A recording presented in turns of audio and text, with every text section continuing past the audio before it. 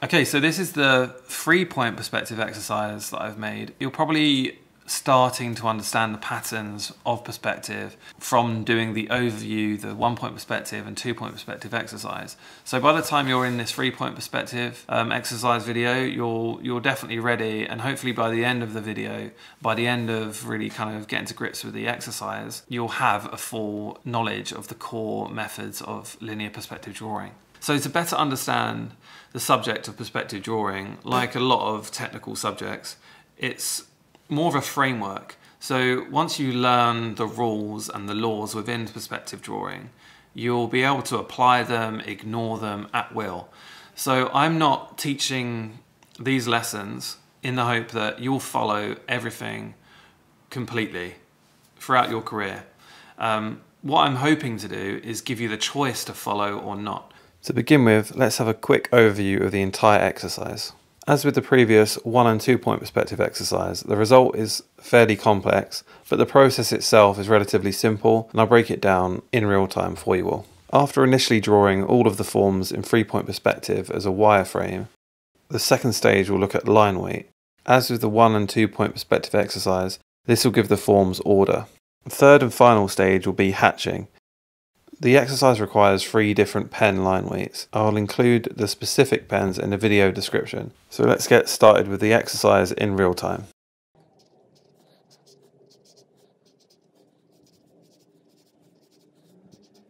As with the other perspective exercises, I'm going to start by drawing a reference cube.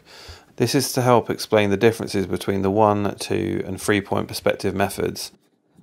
I have gone into more detail in the overview on episode 1, so do check that out if you haven't seen it yet. The first figure has a front on view, ideal for one point perspective as we only have one set of parallel lines leading away from us. The second figure I've drawn is looking towards the corner of the cube, so has two sets of horizontal parallel lines leading away from us. We'd require a knowledge of two point perspective to capture this. Ultimately, with the knowledge of one and two point perspective, we can draw this cube from any angle as long as we're on a horizontal plane plane. If, however, we look up or we look down onto the cube, we need to know three point perspective because all three sets of parallel lines will be leading away from us.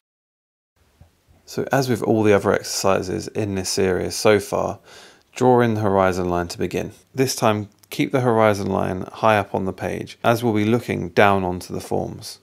Now with your horizon line drawn, draw in two vanishing points at either end of this line. These two vanishing points will be for the horizontal sets of parallel lines.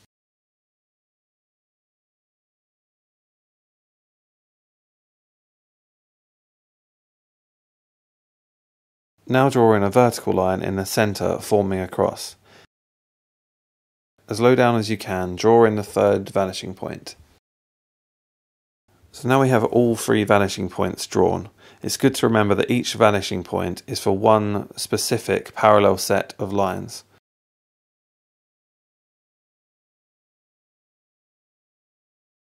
Begin by drawing the vertical edge along the existing vertical line. As you would in a two-point perspective, draw construction lines from the top and bottom of this line back to the vanishing points on the horizon line.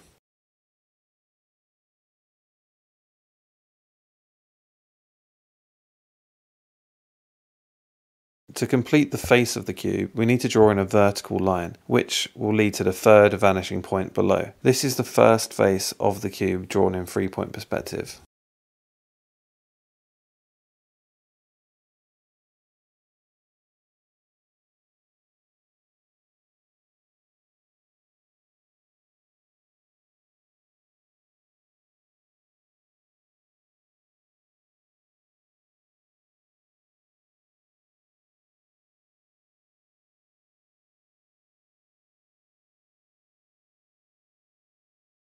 Now draw construction lines for the remaining faces of the cube, remembering that the vertical lines will be leading to the third vanishing point.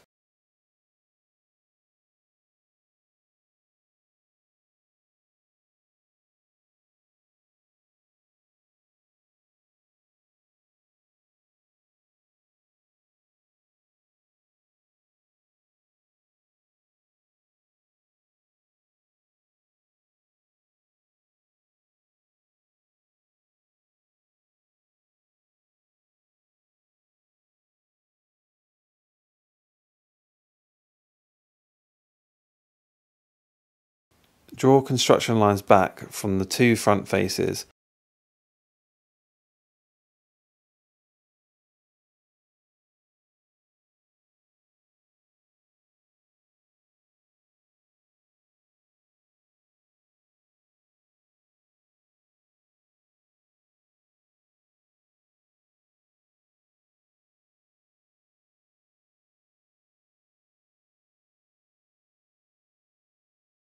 Where these lines intersect will be the top and bottom corner of the rear vertical line. So simply draw a line between the two corners for the back vertical edge. This is the first cube complete. So for this exercise, I want you to now start drawing in construction lines leading to the third lowest vanishing point. These will all represent vertical lines.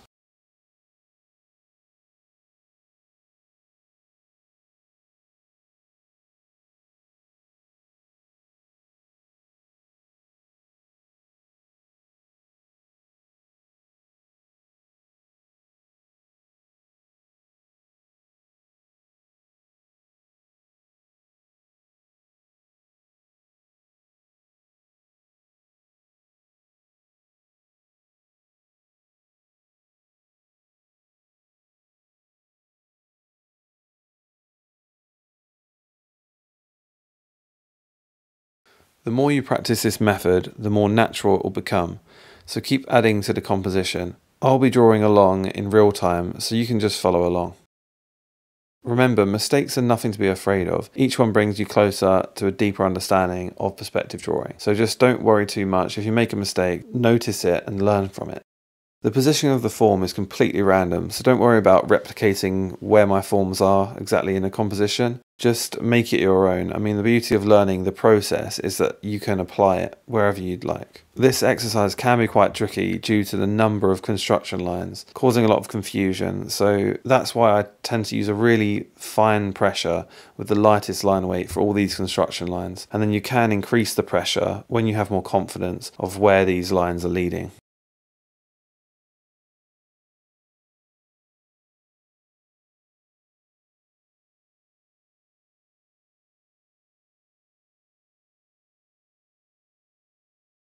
When drawing these construction lines, try and use as much as your arm as possible to draw the line, not just your fingers. This should stop curving with the arc of your wrist.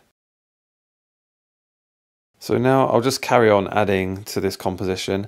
I'm going to be drawing for quite some time, so I'm hoping that you can use this opportunity just to follow along and have a play and really just get some drawing in it really does come down to how much time you put into learning and practicing. And this exercise is just great for that because it allows you to have a lot of freedom. You're just repeating this process over and over and over. And it's just really drumming in the importance of having an awareness for all three vanishing points.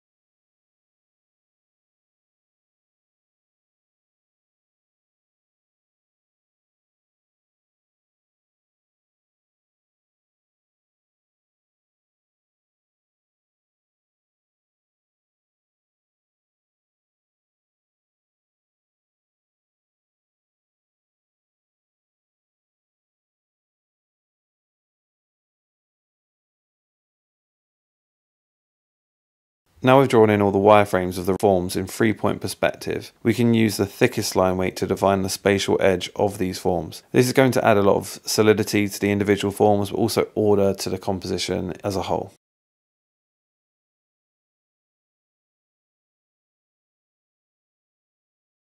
If we draw the complete spatial edge around the form, we know that this is in the foreground. If we want to complete the forms behind these, then the spatial edge of the forms behind must not cross those that have already been drawn completely.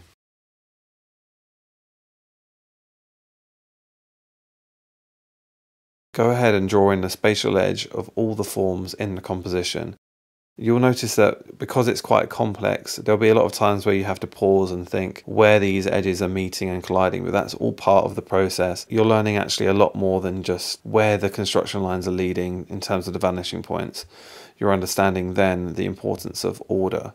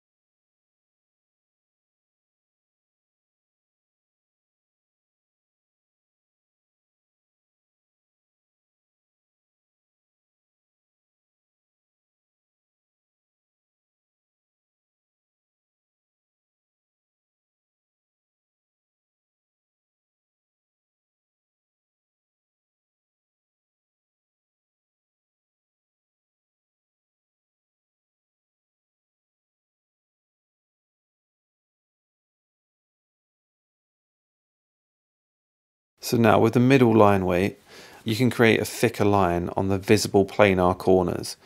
So the planar corners are where two planes meet on the cube.